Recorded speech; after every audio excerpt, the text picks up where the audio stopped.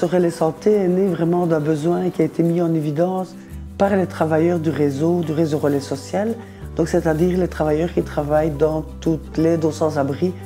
Donc on s'est rendu compte qu'il y avait finalement très peu d'accès aux soins pour les personnes de la rue. ça va mieux? Non, pas du tout. Peu d'accès aux soins parce que ben, ces gens ne prenaient pas nécessairement soin d'eux-mêmes, ne prenaient pas soin de leur santé, que les travailleurs qui étaient en contact avec eux mais n'étaient parfois réticents de leur parler de santé puisqu'il n'y avait pas vraiment de solution. Donc quand on n'a pas de solution, on préfère parfois ne pas poser la question. Et que donc finalement, quand la santé se dégradait, mais ces personnes se rendaient aux urgences dans les hôpitaux avec des situations qui étaient parfois catastrophiques, où ils n'y allaient pas, où ça se passait mal. Donc, les médicaments, je sais pas ce que je vais en faire faire mon PVD. Ok, je vais regarder. Ouais. Comprends rien. Donc ici à Charleroi, on a voulu l'organiser sous forme d'un dispensaire. On a des soins infirmiers, on a un travail social pour tout ce qui est mis en ordre administratif, toujours concernant l'accès aux soins. Et on a un accueil qu'on essaye le plus convivial possible, de manière à ce que les gens se sentent bien chez nous, aient envie de venir, de revenir, et qu'on puisse effectivement leur travailler sur leur santé. Est-ce que je vais au Est-ce que je vais à Triangle Je ne sais pas où aller. Va téléphoner au Dourlet pour te mettre en prio santé. Ah, savais euh, on verra. Donc ici, on travaille euh, quasiment exclusivement avec des personnes sans abri.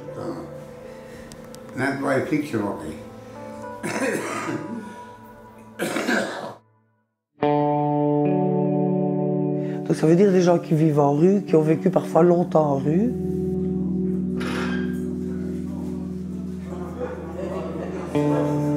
Moitié d'entre eux sont sans papier. Je suis ici sur le niveau de Charleroi en Belgique depuis 2015 et euh, je suis dans une situation régulière. Et euh, comme ça, ça fait bien longtemps, on est à la rue. Je suis en train de faire ma régularisation pour j'espère euh, d'avoir mes papiers, mais c'est un peu délicat parce que je dois patienter 5 ans et demi pour faire euh, mes preuves. Et dans toute cette période, on n'a rien du tout. Heureusement, il y en a le relais de santé.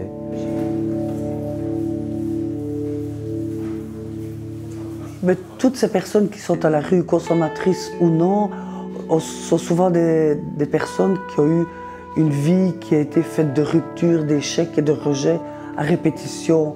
Ce qui fait que finalement, ils ne croient plus en même en eux. Quelque chose, quelque chose est cassé, quelque chose est, a- s'est rompu à l'intérieur d'eux-mêmes aussi. On constate que quand on accompagne ces personnes à l'hôpital, quand l'infirmière est à côté d'eux, qu'on explique au médecin, à l'infirmière, la situation, ben, souvent ça se passe beaucoup mieux. Et l'avantage aussi à ce cas-là, c'est que nous, on a un retour par après.